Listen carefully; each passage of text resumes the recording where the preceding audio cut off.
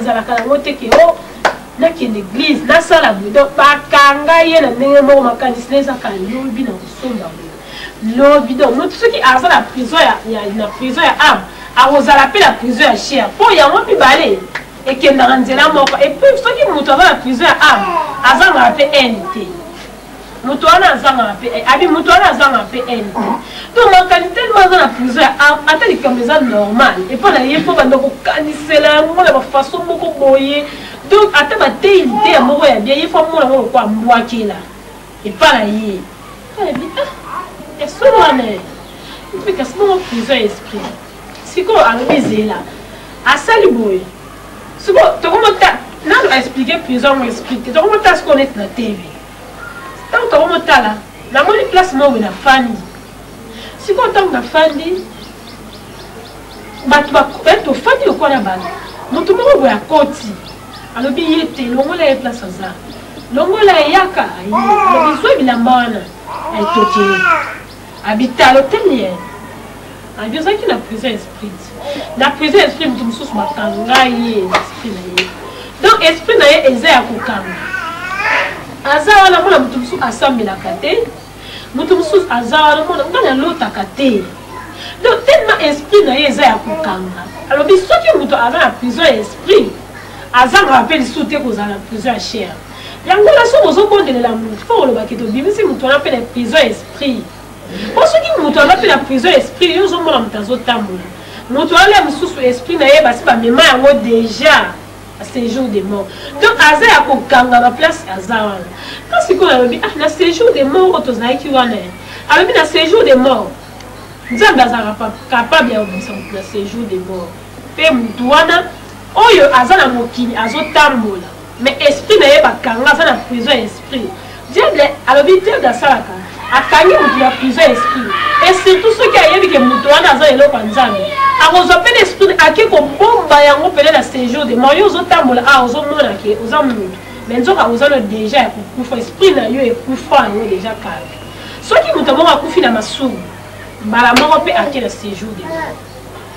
soki nzambe alingi adelivre moto wana omona moto wana ye na eglise abongoli motema ntango bazobondela alobi yebisa bana nzambe mpo kobondela tobimisi moto oyo esprit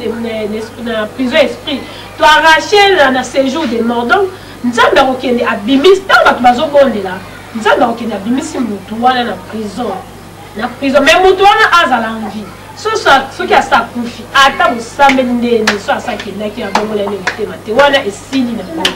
mais soki aza vivant se repentir nzambe aza capable ya kokende kobimisa motu wana na prison ya na séjour de mort abimisi ye na prison mpe motu akomi libre mais motu na lie de repos babimisaka ye te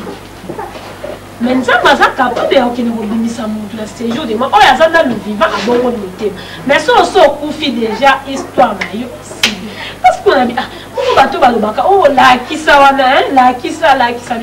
lakisa yango ezalaka bien eza kaka bato bino moko boza wana bato bakosala baje awa ah, yo yo eloko nini yo ozoyeba eloko na minute yo eloko nini yo kosalama ngo bino osala eloko te Est-ce que yo oyebi que yo oza ya kokufa ngabi te nayebi na nga te tandis que bato oyo bazalaki komona nga ntango baye baolamusa nga naolamuka te bango soki mpo na bango na se bazala komona ngo evenema moko ndenge mosusu babouge babouge wana ngai aza mpe kaka kuna bango babougeki antuka baomona eloko te telema ezali mpe na veye bato mosusu ah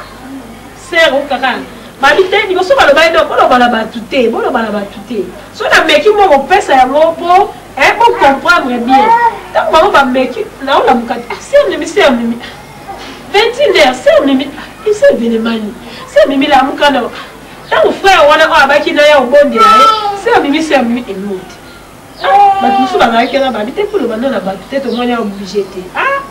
bato mosusu yo oyebi te ser wana azoningana yo lisusu te baya okanga biso oyo epe ake kuna yo oyebi te ale vema ezalaki mpe veye jour yango na église bato mbamo veye ezalaki lisusu te bato mpe mbamo motu na moto ekomika e eh?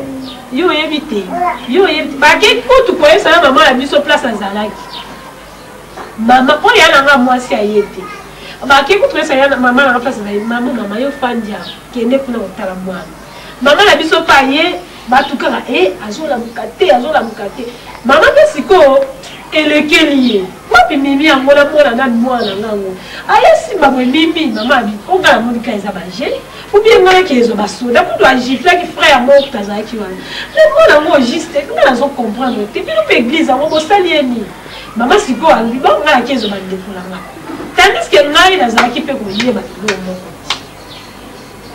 donc ngai nayebi na ngai kaka ke esili nango eh, na vie na ngai mosusu ekontinue nango kuna nazomona tozotambola na biso kuna donc nde so moto akufi na ye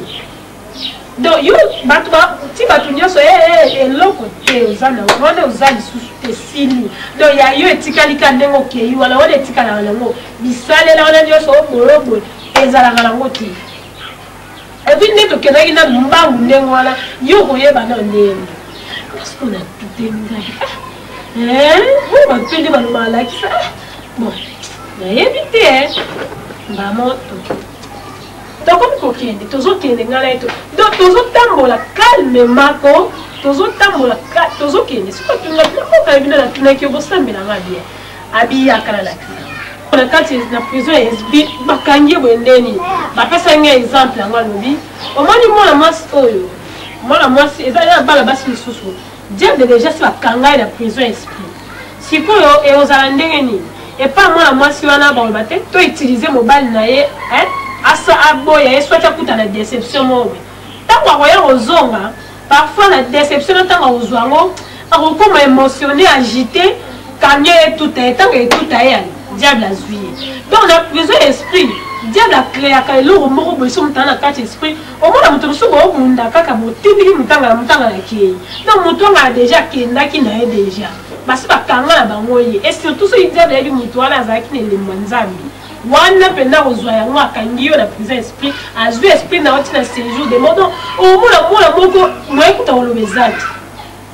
omona osala makambo moko ocomprendre tomona ye mosusu moto mosusu liwa moko brise ozo comprendre te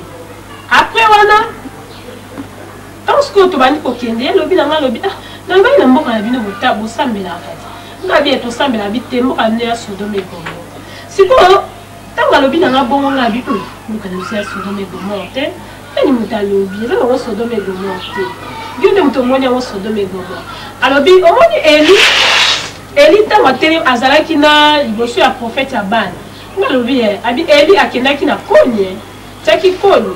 tiaki mabanga, asopi mai. Après moto ya kosala nini? Ya kokita ti. Na vie na, ya, na vie ya bala nzambe, mpo mabanga ezali.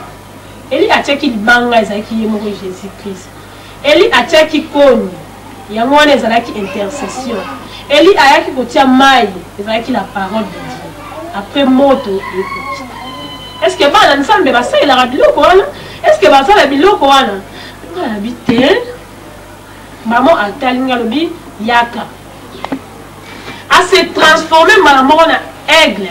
ndenge ka aigle azalaka a se transforme ntango nalobaka makambo oyo namonaka ke nzambe basalanaka na ye te donc na mati na lipapu ya aigle wana ngai nde nazoyebisa bino boye tomati tozokende tozokende tozokende tozokende tokomi ti likolo ya nzete toma totelemi yesu ko alobi atie bolinga na kiti na ngai nakita alobi te ozalaka place ozali nga mpe natelemi na mapele alobi ozali mamatwana na kati ya lopango yango tala lopango nini eza na mwanita komwa te bavandi vraiment table ronde ndenge table ronde ezala bavandi bango nde kosali cercle ya table sikoyo otunga ozali mamatwana pasteur moko akotaki na retard bakomi kokogazi yo nde bino ye retard oh, basi bali bakopa bapasteur afai sikoyo bazali ndeni baopesa basuki mpa motu wana natuni na motu aza nanabi moto oyo aza lucifer lucifer bachange bakoma benga na nkombo ya samuel nini bato bazokanisa antichrist nano aye te mais antichrist deja azali kutu asali deja na biloko ne deja tolobi ah, asali mpe biloko ne abi zela na koyebisa otala malama osali baye na suki omoni vert oyo nde vert oyo ezali motu aye nango na makila akitisi yango makila wana aye nango nombre ya makila ya bato oyo asakrifie mais asakrifie